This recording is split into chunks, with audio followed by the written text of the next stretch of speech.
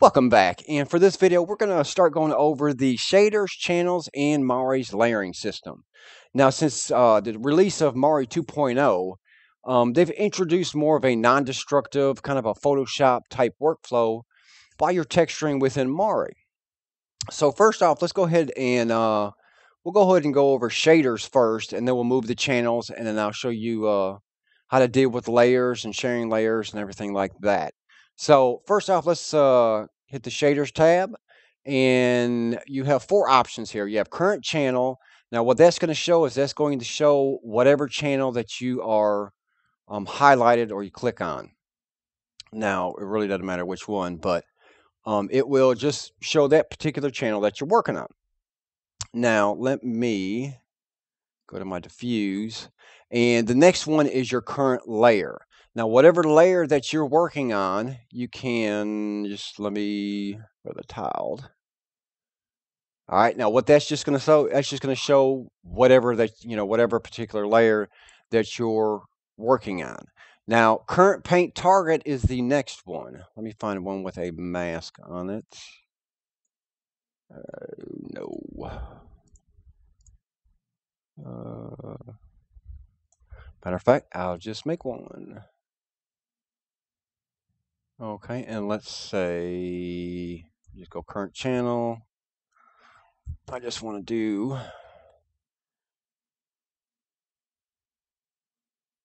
for showing purposes, I'm just going to go ahead and do that. Um, as you see, current paint target is going to show white. Okay, that's all it's going to show. Now, what you can do is, let's say you want to add a mask.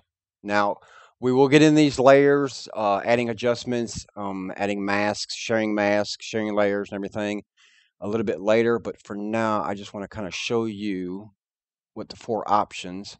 Now, what that's showing is that's just showing exactly you can either bounce back from your layer to your mask, and you can see that particular part in, you know, completely separate from your layer. So also it's like if, if I let's go ahead and do black. Well, it's already black. Sorry. Do that. Just go to current layer. Actually, I just go current channel so you guys can see it better. And as you see, I've already masked that out. Now, I can't continue to work on this mask without really worrying about anything. But if you want to go back to it, all you have to do is current paint target. Now, previously, I had gone over this little toolbar here. Now, that's essentially doing the same thing. You know, you can bounce back, you know, however you need to between these four modes. I'll put that back up here. Okay, so let's say you get your, let me go ahead and delete this one here let's say you have your textures uh, kind of where you want it, or you're just doing some some uh, you know some some working on it and seeing kind of how it uh, how it looks. So let's go ahead and um, add a shader. One thing I wanted to also talk about is these four options here. You can adjust your specular, specular roughness, diffuse. They all have the same options here, pretty much. So let's say you want to add a Phong shader. Now you do have Phong, Cook Torrance, Beckmann, Blend, flat lighting, and standard lighting. Okay. So let's just go ahead and do the uh, first one since I got it up here. And all you have to do is hit the plus sign, add whichever shader that you want to. Now you can add custom shaders. Now you do have two options for your diffuse you also have four options for your specular. So keep that in mind. All you have to do is hit this little arrow down here and choose whichever one that would uh, suit your needs. So shaders like big folders, all you're doing is plugging your channels in. Okay, so we want diffuse in there. We'll go ahead and put spec in there. Oh, if I click the right one here. Uh, give it a second.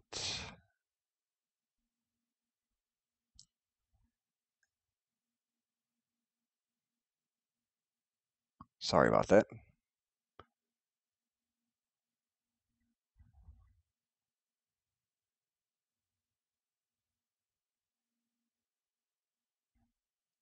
Okay, sorry about that. I kind of, I guess I clicked it too many times.